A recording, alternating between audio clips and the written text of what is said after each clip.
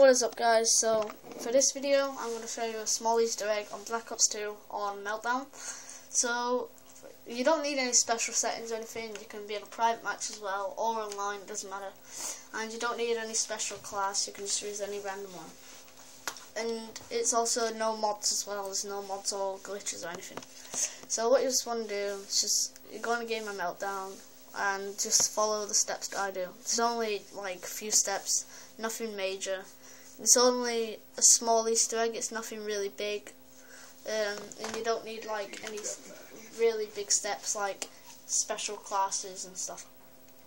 So oh yeah, so if you didn't know, every map is inspired by something off the TV. Like this map's inspired by The Simpsons. So there's and this Easter egg is to prove that it's inspired by The Simpsons. And like the map Hijacked is inspired by Batman, so there's an Easter egg on there to prove that it's inspired by Batman.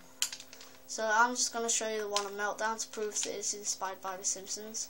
So all you need to do is just need to go into that building there. And then, like, that building there, like, represents, like, Homer's power plant kind of thing.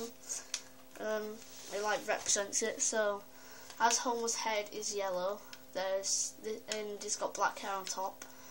Uh, this helmet right here represents his head, and that black bit there represents like his hair, like on top of his head, like directly on top. And then that one might be a little bit boring, but there's another Easter egg in this same building, in the same room. Um, and what Homer likes to eat is donuts, so like you can. And if I step aside, here's donuts right here. So that's what Homer likes to eat. Donuts and there they are. And they're pink as well, what Homer eats. The pink ones. So um, yeah, that's just a small Easter egg on Meltdown to prove that like Homer I mean that it's inspired by The Simpsons. So um, I hope you enjoyed this video anyway. Please like, comment and subscribe.